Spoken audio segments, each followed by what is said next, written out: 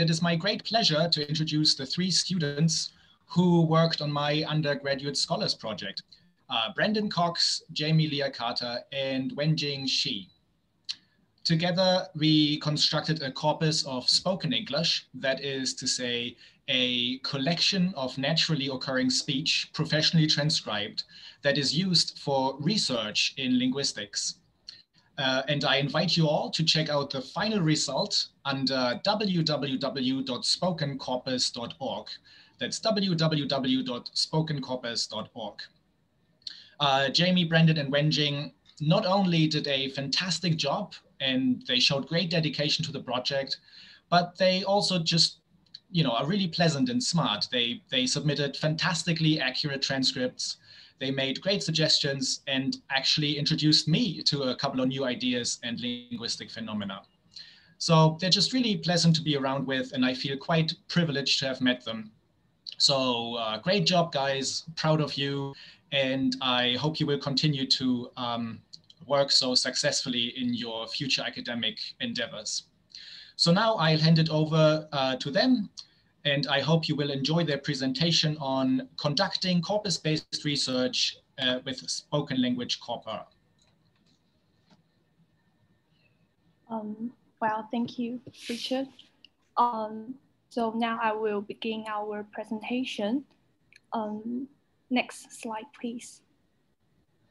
Um, firstly, I want to um, briefly talk about our project our project is relatively practical as well as interesting. Um, I think our project can be divided into two parts.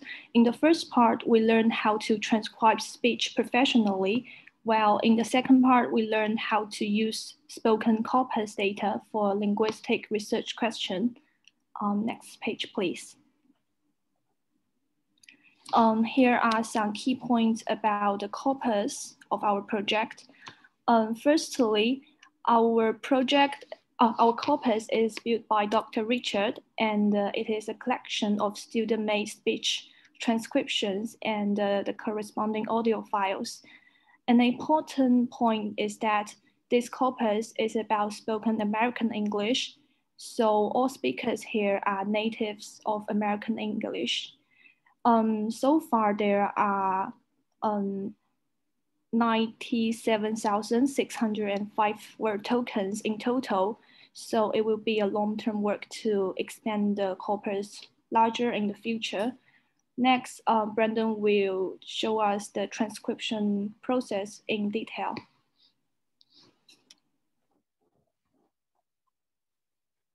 So here we just have a video describing how the transcription was done.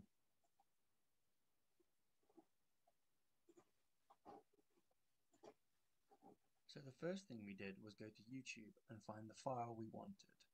Though I don't show it in this clip, we then download the audio file for the clip and open that in Audacity. Audacity is used to clip and trim audio. Each audio clip correlates to a sentence token.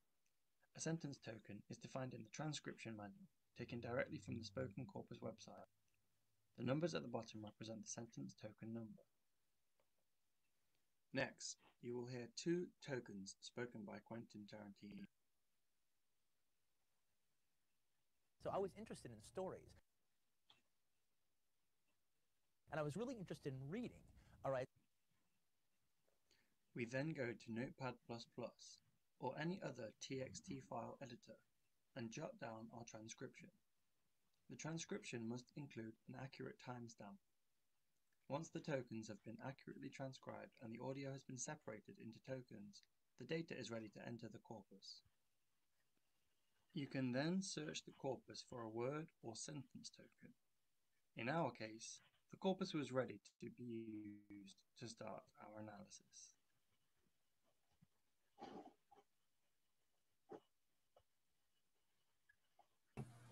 So after building the corpus further, we chose to use it as a tool for linguistic research. Uh, we wanted to find out more about the variations in vocabulary between speakers and what might cause these.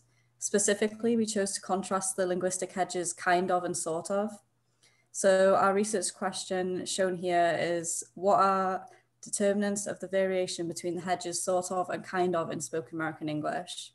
To give you a better idea of the data we were looking for, we've included two examples from the corpus.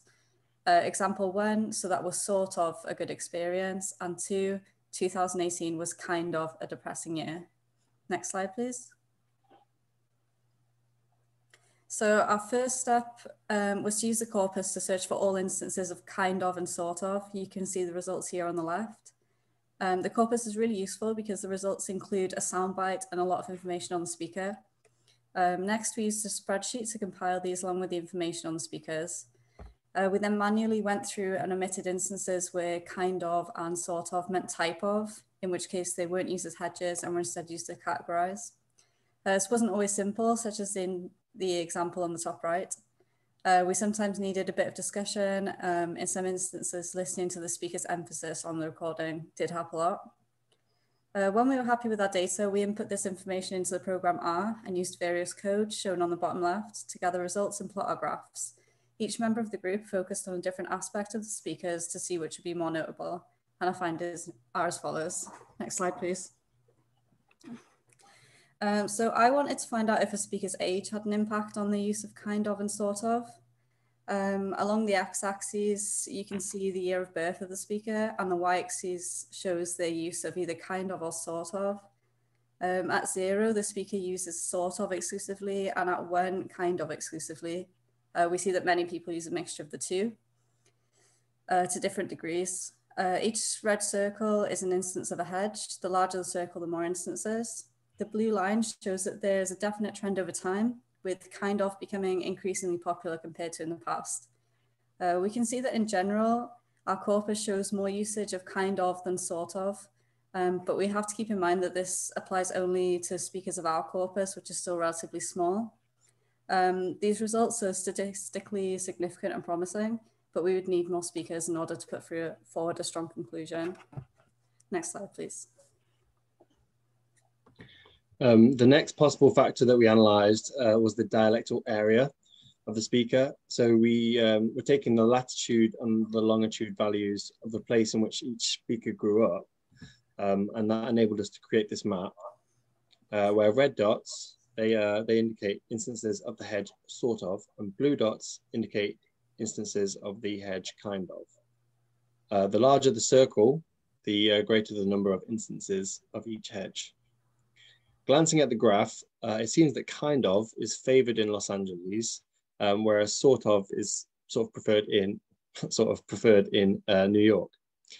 Uh, we see a smattering of blue data points in the Midwest, sort of around here. Um, but the additional presence of red data points, for example, those two there, um, in, uh, it sort of makes it difficult to draw a meaningful conclusion about the spoken American English in the Midwest. Um, and in fact, uh, just from the graph alone, it is quite difficult to discern any pattern. And what makes this harder is that the data set is only driven by 30 speakers, which is a very small number from which to make any generalizations. Um, so when the corpus is larger, perhaps this hedge comparison can be made with greater reliability. Um, so in this section, I wanted to investigate whether the education level has an influence on the use of the hedges, sort of and kind of, and uh, that's what you can see in this plot. Um, here, the blue bar represents higher education level, and uh, the orange bar represents lower education category. And uh, then I apply the chi-square test, and the results is shown in, on the screen. Um, since the p-value is smaller than 0.001, we can conclude that the difference between the blue bar and the orange bar is significant. Um, next, in this graph, you can see that the lower education category use less sort of. Um, in order to quantify this, I use get-odds ratio. Again, I put the results above. Um, here, the odds ratio 0.1 represents that the blue bar is 10 times as high as the orange bar. Um, it means that the odds that a poorly educated speaker would use sort of are only about one tenth of those odds for highly educated speakers. And uh, this effect seems to be very strong for me. Um, finally, this study is confounding with age because previously in Jamie's study, we've already established a change that older speakers use more sort of than young speakers. Um, but old speakers also tend to be more educated. According to the categorizing rules we use uh, in this project, um, for young speakers who are still in college and haven't got their master degree yet, they will all fall into the lower education category. Um, so there is a correlation between age and the education. As you grow older, um, you also get more educated. But there is also a change going on such that old speakers use more sort of. So that, so that change is also included in this graph. In other words, we can say that this graph does not um, con control for age. Next slide, please. Um, then this uh, slide lists out all our major findings of the project um, by comparing sort of and uh, kind of. For sort of, uh, it is more conservative and uh, it possibly used more in northern states. Also, it is mostly used by people with a higher education. While for kind of, it is becoming more popular nowadays and it dispersed more um, inconsistently. Um, meanwhile, it is used by people of both uh, lower education level and higher education level, but more by lower educated speakers. Uh, next page, please. Um, finally, here comes to the conclusion of our project. Since the corpus is relatively small now, our findings are still not too clear. In this case, uh, we would be interested in revisiting our research question again in the future uh, when the corpus is growing larger. Uh, here, I also list out some useful, useful skills we've learned from the project. For example, we learned how to do professional transcription, also, we learned how to use audio editing software like Audacity. Um, moreover, we learned how to use R program to analyze data. It also practiced our um, coding skills. So that's all for our presentation. Thank you for listening.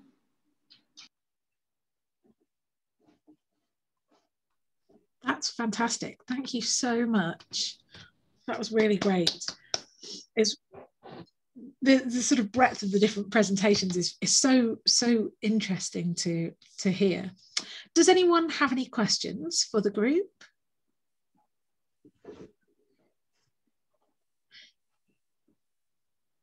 oh vera your hand is raised Hey, thank you for this presentation. I think the results are really interesting also from the perspective of the research that's been done on like insertion in English, right? Um, I think that goes in terms of the pragmatic function and its semantics has a similar status like kind of and sort of. Um, and for like insertion, we observe exactly that, that it starts out in a particular age group, in a particular place, and then kind of spreads uh, across the age groups. Um, um, and now it's attested um, in court proceedings, in, in, in kind of professional settings uh, that wasn't um, that we wouldn't find it before. So if you were interested in pursuing that further, I think it uh, might be interesting to relate it to that research and like insertion and and also look at the parallels and potentially also differences, uh, especially the educational difference. And I found quite interesting. So so that's a very nice project.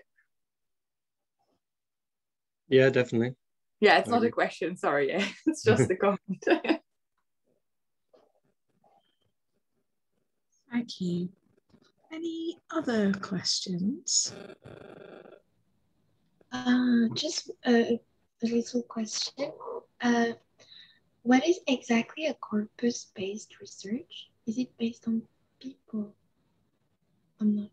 I'm, I'm sure, like you explained really well, but I'm just not sure I get it.